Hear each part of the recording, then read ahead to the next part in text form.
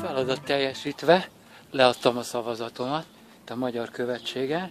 Hát ez itt a városnak egy ilyen elit-elit negyede, minden ilyen három méteres falval van bekerítve, amit mögöttem is látható. A követség épülete az egyik legimpozánsabb, ahol eddig jártam, előtérrel lépcső, ami aztán két felé nyílik, tehát olyan, mint hogyha egy ilyen kastély lenne.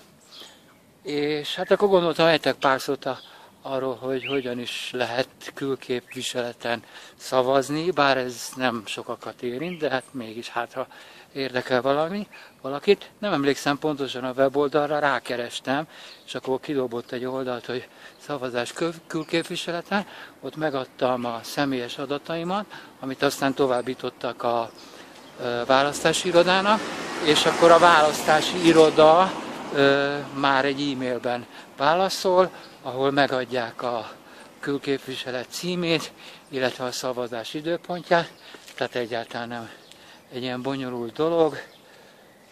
És akkor hát egy ö, személyazonosságot igazoló okmány, ami jelen esetben az útlevelem volt, azzal kell igazolnom magam, és akkor ennyi.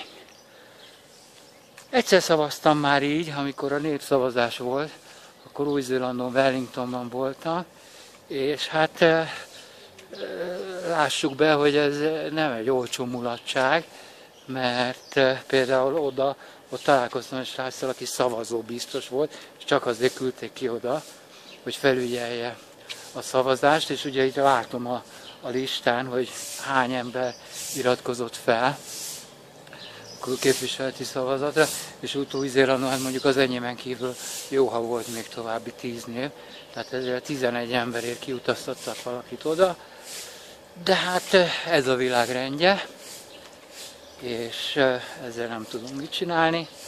Na jó, hát most sétálok vissza a szállásomra, még egy napot itt leszek Mexikó aztán utazom vissza Playa del Carmenbe.